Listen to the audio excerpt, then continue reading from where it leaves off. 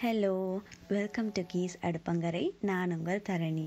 இன்றைக்கி நம்ம பார்க்க போகிற டிஷ் கொக்கோ கோலா சிக்கன் அதுக்கு முதல்ல ஒரு பவுலில் three hundred grams of chicken எடுத்திருக்கேன். அது கூட நறுக்கி வச்சுருக்க பூண்டு ஒரு டேபிள் ஸ்பூன் சேர்த்துக்கலாம். நான் இன்றைக்கி சிக்கன் வந்து சின்ன சின்ன ட்ரம் ஸ்டிக்ஸ் மாதிரி எடுத்திருக்கேன். நீங்கள் அதுக்கு பதிலாக சிக்கன் விங்ஸ் இல்லை நிபிள்ஸ் கூட எடுத்துக்கலாம். அது கூடவே நம்ம இப்போ ரெண்டு டீஸ்பூன் சில்லி ஃப்ளேக்ஸ் சேர்த்துக்கிறோம். அப்புறம் half a teaspoon paprika powder paprika powder வந்து ஆப்ஷனல் தான்.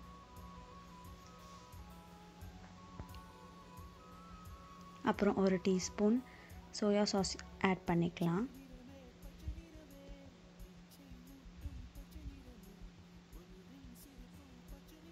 அதுக்கப்புறம் நல்லா மிக்ஸ் பண்ணிக்கோங்க. மிக்ஸ் பண்ணதுக்கப்புறம் ஒரு டீஸ்பூன் வினிகர் சேர்த்துக்கலாம்.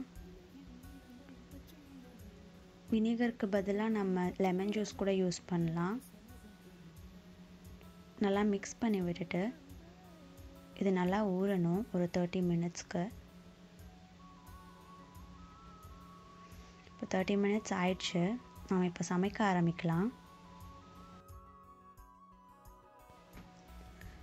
ஒரு பேனில் நம்ம கொஞ்சம் எண்ணெயை ஊற்றிக்கலாம்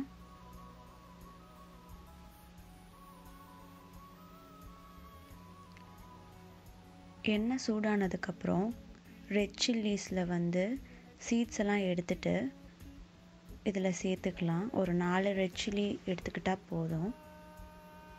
சின்ன சின்னதாக கட் பண்ணி போட்டுக்கோங்க.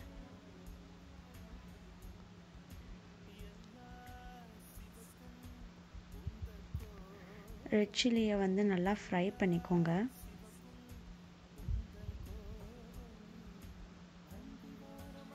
ரெட் சில்லி நல்லா ஃப்ரை ஆனதுக்கப்புறம் இது கூட நம்ம சிக்கனை சேர்த்துக்கலாம்.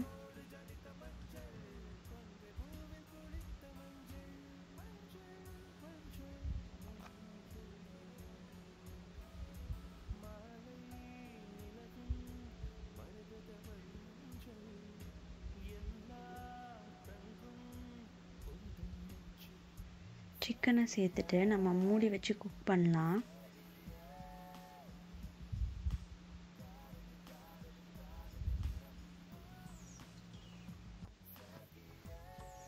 இப்போ ஓப்பன் பண்ணி இன்னொரு பக்கம் திருப்பி விட்டுக்கலாம்.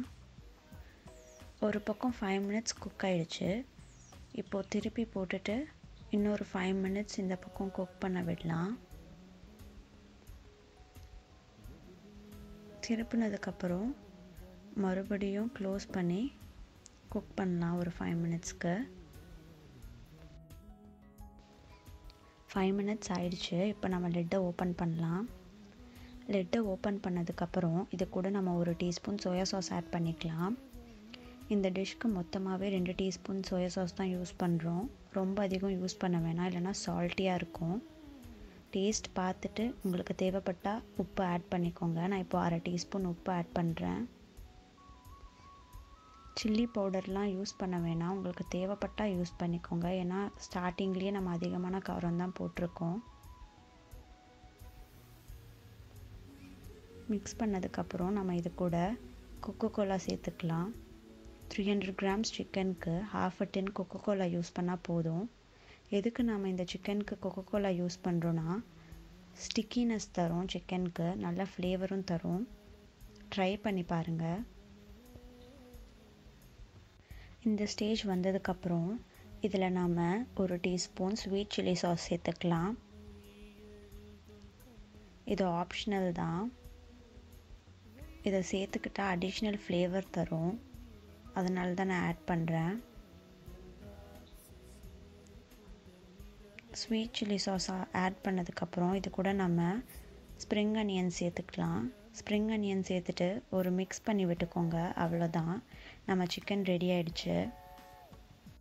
இந்த வீடியோ உங்களுக்கு பிடிச்சிருந்தா லைக் பண்ணுங்கள் ஷேர் பண்ணுங்கள் மறக்காமல் சப்ஸ்கிரைப் பட்டனை ப்ரெஸ் பண்ணுங்கள் உங்களுக்கு வேறு ஏதாச்சும் ரெசிபி தேவைப்பட்டால் கமெண்ட் பாக்ஸில் கமெண்ட் பண்ணுங்கள் இன்னொரு நல்ல டிஷ்ஷோட உங்களை சந்திக்கிறேன்.